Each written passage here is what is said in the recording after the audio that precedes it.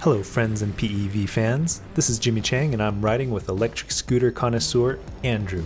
And we're going to be comparing and contrasting the brand new InMotion L9 electric scooter with one of the most popular commuter scooters around, the Segway Ninebot Max.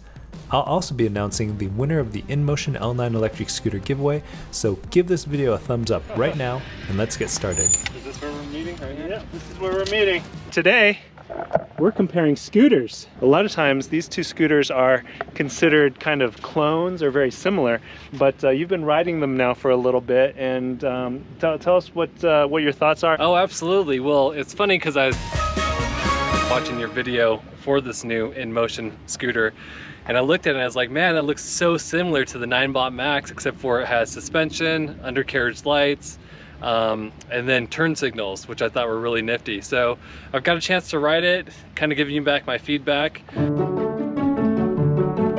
So you can okay. see it's about an inch, two inches taller. I also like this locking mechanism. I thought it was pretty sweet because a lot of people say that this is the Achilles heel to this scooter is this um to the Ninebot it's the Ninebot is this has this little plastic safety thing and sometimes if you're not paying attention and you go to close this clamp and this is in the way you can actually break this plastic piece oh i see and it's just a piece of plastic yeah oh yeah that's just exactly that's just plastic there it's just plastic and people have actually mentioned that it snapped on them when they're riding it so this locking mechanism is pretty pretty awesome that it has this thing to lock onto. Yeah. Um, not really a plastic piece. Yeah. I'm not sure about this because I haven't had a chance to really ride with it, but it seems really, really sturdy. Mm -hmm. And then That's seems it. like That's it. It just drops, huh? Yeah. So I didn't even realize that. And it beeps if it's not turned off. Okay, so, so let's turn this off real quick. Long press. And then this also has a clip yeah, here. so the clip you yeah. Yeah. Like, it's a little bit heavier, huh? It is heavier. It's 53 pounds. 53, where this one is, I think, 43 pounds. Okay. Yep. If you grab it in the middle of the stem, yeah. it does feel a lot more equally distributed, but you can tell it's definitely heavier. Mm -hmm.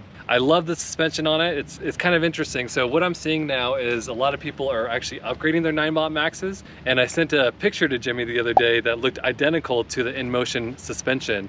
Um, that people are paying $100 to add the front suspension and people are paying about 150 to add the rear suspension as well. The other thing that I noticed was the Y necks look almost similar. If you look at these necks, they're very, very similar. The lighting on the Ninebot is kind of, to me, it, it works, but almost worthless to me. I, where is the where is the front headlight here? The front headlight is right here. Oh, okay. So okay. Exactly. Yeah, and yeah. it's only one light, and then where this one is actually two lights, and we can turn that on real quick. There so there's that, and then Here's and this one. Obviously it's tough to tell because it's so bright out. Exactly. The other thing I noticed about this is I do love that it has turn signals, but it's a little too sensitive, I feel like. Is if I'm just carving left and right, it'll turn on the turn signals, and at the daytime it doesn't really matter, but what I was thinking with Jimmy was if I was at nighttime and someone's behind me, they might think I'm turning when I'm not actually turning and then try to get around me. So that's the one thing that I that I thought was kind of interesting about the turn signals is I love it that it's hands-free, it's all weight distributed. However, it could maybe cause some issues if you're one of those people who likes to carve. If you're just going straight and then you turn, that's totally fine. But for me, I, I hate going straight. I, I'm always carving, no matter if it's a scooter, one wheel, or EUC. Okay.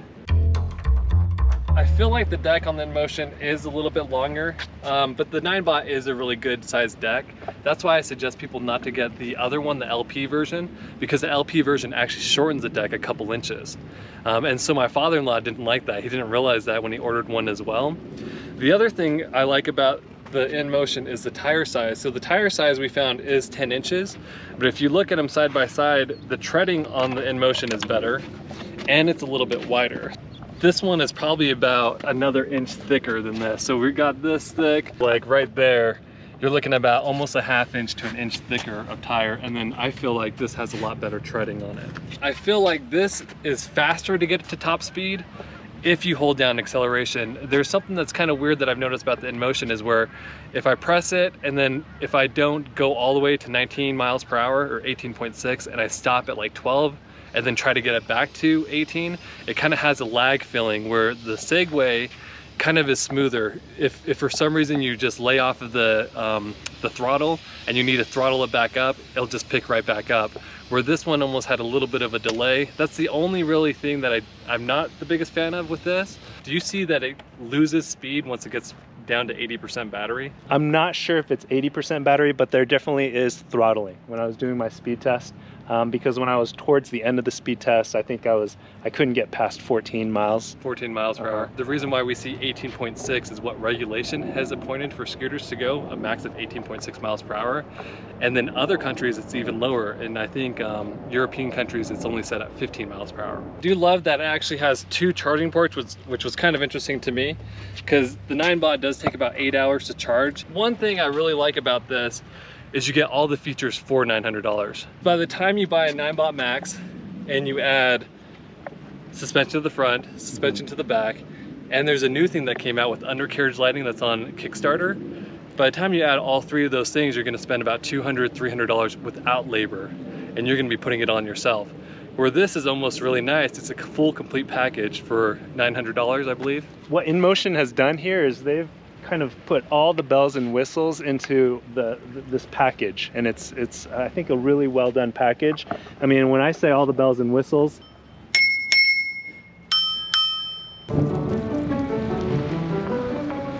so what we're gonna do now is we're gonna do uh, a speed test. And we're going to start over there with both the Ninebot and the InMotion and we're just gonna race across and see who finishes who crosses this uh, this line here first that's our speed test. Uh, how much do you weigh, Andrew? I weigh 180 right now. 180.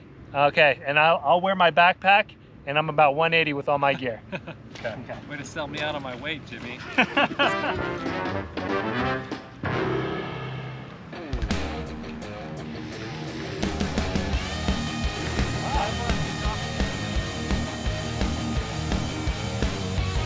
and brake. And brake.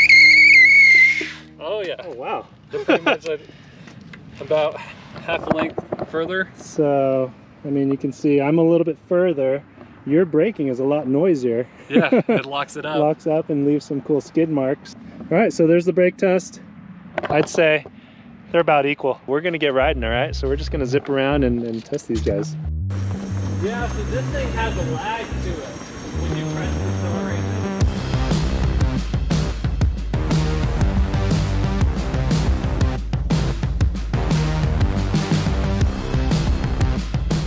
finally, the moment many have been waiting for. The winner of the InMotion L9 electric scooter giveaway is...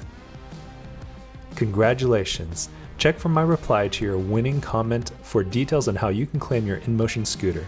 Thanks to everyone who participated and special thanks for InMotion for sponsoring the giveaway. Until next time, be sure to give thanks for what you have, and when you ride, remember to wear your safety gear. Wings over the Rockies.